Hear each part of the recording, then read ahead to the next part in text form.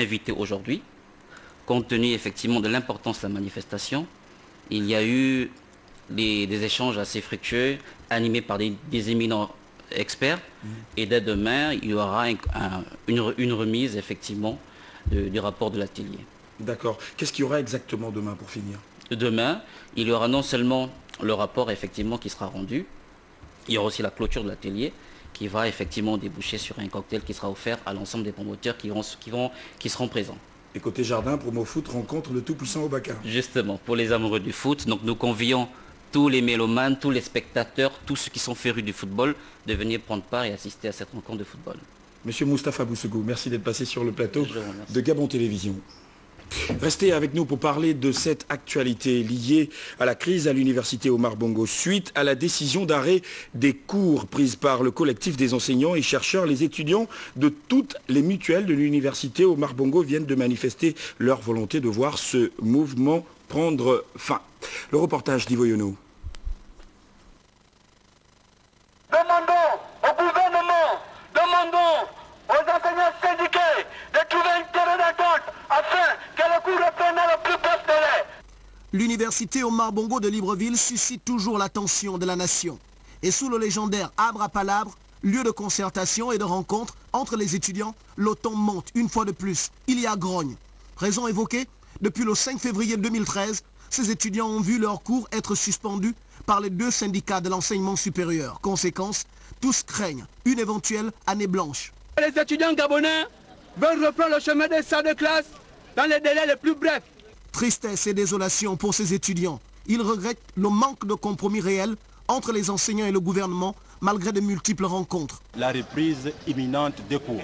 Parce que si nous sommes à l'université, c'est parce que c'est une formation qui nous lie à l'université. L'espoir né après la descente du président de la République à l'UOB contribua pourtant à redonner le sourire ici. Sur le plan social, Ali Bongo Ondimba a promis de vrai pour un retour à la normale d'une situation qui dure depuis trop longtemps. En somme, la récente montée au créneau du SNEC sème de nouveau l'angoisse à l'UOB. Un commun d'attente pour que les cours reprennent dans les délais les plus brefs. Les étudiants et enseignants de l'université Omar Bongo seraient répartis en plusieurs grands ensembles et sous-ensembles. C'est à chacun sa vérité, à chacun son combat et à chacun ses arguments, tel dans une jungle. On ne peut pas être du même avis. Chacun de nous a ses objectifs. Et il s'avère qu'au sein de l'Université Marbongo, il y a plusieurs structures qui, qui, qui sont nées. Conséquence, une instabilité totale, des grèves à répétition, des multiples interruptions de cours et peut-être si rien n'est fait, euh, nous allons euh, euh, convoquer les présidents des mutuelles de d'autres grandes écoles pour une assemblée générale et là va décider la marche du 8 avril 2013. Le pire reste à craindre. La suite de cette édition d'information avec cette euh, formation, ce renforcement de capacité organisé par l'Agence gabonaise des grands travaux en partenariat avec l'Agence de normalisation et de transfert des technologies. Il s'agit en fait de, renforcer les capacités des uns et des autres sur la qualité à toutes les étapes de la construction. Détails et explications Yvette Okosa, Charline Warampira. Le Gabon, à l'instar des autres pays, ne saurait être en marge de la qualité et de la normalisation en matière de construction. D'où l'initiative de la première journée qualité et normalisation dans la construction. L'organisation de cette journée fait suite aux recommandations de la Semaine nationale de la qualité qui s'est tenue du 14 au 18 octobre dans notre pays. La qualité étant considérée comme la satisfaction des exigences du client, elle ne saurait être atteinte sans le respect de la norme.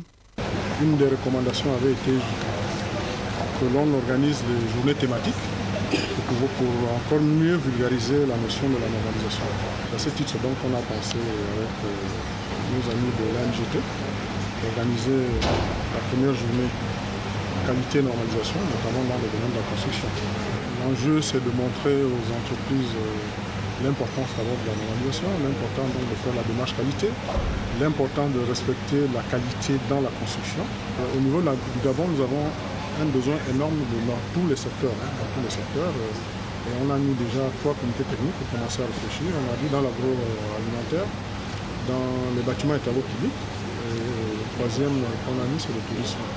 La qualité à toutes les étapes de la construction thème de cette séance de travail est d'une importance capitale étant donné que le secteur de la construction occupe une place de choix dans l'économie gabonaise. Concrètement, il est question d'imposer aux entreprises une certaine réglementation, qu'elles respectent les normes actuelles, également qu'elles puissent euh, euh, former leur, personnel pour s'assurer que euh, ce personnel puisse mettre en place des, ouvrages, des infrastructures, des routes, des écoles, de, bonne qualité, de très bonne qualité, également que ce soit des ouvrages qui soient durables dans le temps.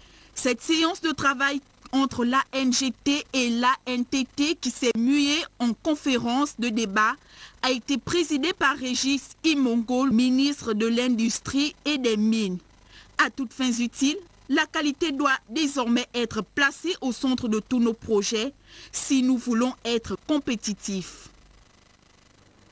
Une bonne nouvelle pour les usagers de la route dans la province du Wallentem, au nord du Gabon. Le ministre en charge de l'aménagement du territoire vient de réceptionner le tronçon routier district de Sam, canton Bissoc. Les travaux ont été attribués à la Société des travaux publics express. Nos envoyés spéciaux, Thierry Aldo Mondaka, Jean-Raoul Badinga. C'était il y a un an. Mais nous sommes là à Congo parce que le, pont est cassé. La société adjudicataire du tronçon Sam Canton Bissoc lançait sa première mission de reconnaissance sur le chantier. C'était il y a un an, les premiers coups de pelle se focalisaient sur l'ensoleillement.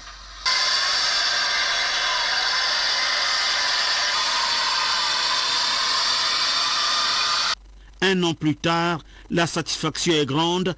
Les 42 km 5 du tronçon Sam Canton Bissoc viennent d'être réceptionnés par le ministère des Travaux publics confirmant ainsi la réussite de ce marché. Après la visite de l'ensemble du projet, nous avons constaté que les dix travaux ont été réalisés conformément au marché et selon les règles de l'art. Un tronçon refait avec difficulté. Les difficultés, euh, peut-être au niveau, les carrés un peu, certains étaient loin de, la route. C'était peut-être la première difficulté. On n'avançait pas vite. Et les pluies étaient constamment. Les températures en permanence mais dans le strict respect du cahier de charges. Aujourd'hui, on peut circuler à plus de 120 km h Aujourd'hui, nous avons un rechargement qui tient la route, qui est plus de 15 cm, les ouvrages réfectionnés, mais euh, nous avons prononcé la réception de ces travaux. Une route réhabilitée au grand bonheur de tous. Avant, avant, la route n'était pas bonne. Donc, euh, est-ce commençaient le boulot ça, ça marche bien. La circulation, c'est impeccable la nuit comme la journée. Qui auront des entreprises sérieuses? La route a été bien travaillée parce que moi-même je viens d'en venir, je fais Samoyem en deux heures. Une route permettant de rouler en toute sécurité. Ils ont bien travaillé et puis je vois ils sont en train de refaire les, les déversements. On n'a pas eu de problème, aucun problème, je crois que c'est très très bien fait. Et sur le plan économique, Sam Canton Bissoc favorisera bientôt les échanges. Je peux donner rendez-vous à un client que je vais aller à Oyem le matin, au plus tard à 14 h je suis déjà de retour. Par rapport à la qualité du travail, je crois que c'est bon. D'autres défis gouvernementaux pointent déjà à l'horizon. Le prochain entretien routier, c'est bientôt. Et le ministre nous a fait confiance encore une, une seconde fois. Pour le bonheur de tous. IPB International Pro Business vient de réaliser le tout premier répertoire spécifique aux PME et aux PMI euh, gabonaises. Pour en parler avec nous sur ce plateau, Madame Koulibaly Salmata, bonsoir. Bonsoir, monsieur. Merci d'avoir répondu à notre invitation. Dites-nous, pourquoi, en quoi le, le répertoire des spécifiques des PME et PMI est-il important? Merci beaucoup de nous recevoir sur ce plateau. Euh, ce répertoire va permettre surtout de, euh, de, mettre en exergue les qualités des PME et ça va permettre aussi de, les, mettre plus visibles sur le marché pour qu'elles puissent être plus compétitives. Ce répertoire va les aider à constituer un réseau d'entreprises qui pourront échanger en fonction des produits que chacune d'entre elles pourra proposer une réalisation avec la collaboration du ministère en charge des PME et PMI du, Gabon. Vous pouvez euh, nous dire un tout petit peu comment ça s'est passé? Nous avions décidé depuis trois ans de réaliser ce projet, mettre à la disposition des entreprises, des instituts, le premier répertoire euh, des PME et PMI et depuis trois ans, nous sommes là-dessus. Aujourd'hui, ces choses fin prêtes. Nous avions demandé à ce que le ministère de tutelle nous accompagne pour que ce projet puisse voir le jour. Et chose faite, le ministère nous a accompagnés, nous a appuyés pour qu'aujourd'hui, ce répertoire puisse voir le jour. Et pour cela, je vous dis que demain, ce sera la cérémonie de présentation de ce premier numéro du répertoire des PME et PMI du Gabon. Et cette cérémonie sera patronnée par monsieur le ministre des petites et moyennes entreprises que vous connaissez bien. Et ensuite, euh, nous, serons à la Chambre de commerce demain à partir de 15h. Qui sont, euh, qui sont les invités Les invités, nous demandons à tous les opérateurs économiques, tous les chefs d'entreprise de bien vouloir euh, accepter notre invitation pour demain à partir de 15h à la Chambre de commerce afin que nous puissions feuilleter ce premier répertoire des PME, des PME du Gabon qui va permettre à ces entreprises de mieux être visibles sur le marché et être compétitives. Madame Salmata Koulibaly, merci. C'est moi qui vous remercie. Restez avec nous et nous allons tout de suite au palais Omar Bongo Ondimba euh, du Sénat où plusieurs directeurs généraux des administrations en charge de l'environnement, de la biodiversité et des mines viennent d'être auditionnés par les vénérables sénateurs. Audition consacrée à l'exploitation illicite des carrières de sable au Cap Estérias à quelques encableurs de Libreville. Tour à tour, les vénérables sénateurs ont écouté les directeurs généraux des eaux et forêts, de l'École nationale des et forêts, de l'environnement, des mines et de la géologie et de l'aménagement du territoire. Des auditions qui font suite à la mission d'information du Sénat sur le terrain dans le département de Cap-Estérias à la suite des plaintes des populations de cette zone face aux travaux d'aménagement et de développement entrepris dans le département du Cap-Estérias. Au cours des échanges, les uns et les autres des auditionnés ont expliqué aux vénérables sénateurs les grands axes de développement et les grands projets, ainsi que les aménagements engagés par rapport à leur département ministériel. Le directeur général eaux et forêts expliquera aux sénateurs qu'après la décision du gouvernement de créer l'arboretum Raponda Walker d'une superficie de plus de 6700 hectares en 2011, son département ministériel envisage la mise en place de deux zones d'éco-développement délimitant l'arboretum et dont le but est le développement des activités socio-économiques compatibles avec les impératifs de conservation des écosystèmes. Son collègue de l'environnement dira que les questions environnementales sont d'importance elles seront respectées dans la zone nord regrettant cependant certaines exploitations illicites de carrière. Le directeur général de l'École nationale des eaux et forêts va rappeler aux élus que la gestion de la forêt classée de la Monda avait été confiée à cette école pour des besoins pédagogiques. Cette forêt participe à la recherche, à la conservation de la biodiversité et contribue à l'atténuation des effets négatifs du climat. De son côté, le directeur général des mines et de la géologie, dans un exposé clair, précisera aux élus locaux qu'aucune exploitation n'est autorisée dans la zone nord de Libreville. Toutefois, reconnaîtra-t-elle que des exploitations illicites sont constatées à travers un balai de camions de sable et de remblais de la, de la latérite, une situation que les agents de son département combattent et une sommation d'arrêt d'activité a été lancée à ces opérateurs.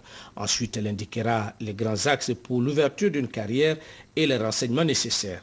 Enfin, le directeur général de l'aménagement du territoire a à son tour donné les grandes lignes de la politique gouvernementale en matière d'aménagement du territoire et les perspectives d'aménagement dans la zone nord de Libreville, voire dans l'ensemble de la province de l'Estuaire. Il annoncera au vénérable sénateur que son département élabore actuellement des outils nécessaires d'aide à la décision, notamment entre autres le schéma national d'aménagement et de développement du territoire et des schémas régionaux. Rappelons que cette série d'auditions est la suite normale de la mission effectuée sur le terrain par le Sénat à la suite des plaintes des populations auprès de l'institution à la suite des casses et des travaux de déguerpissement entrepris dans cette zone. D'ailleurs, le premier secrétaire du bureau du Sénat, Claude Damas n'a cessé de rappeler que cette mission rentrait dans le cadre des missions du Sénat dans son rôle de contrôle de l'action du gouvernement sur l'ensemble du territoire national et aucunement précisait-il, le Sénat ne se substitue pas, encore moins ne donne des injonctions au gouvernement.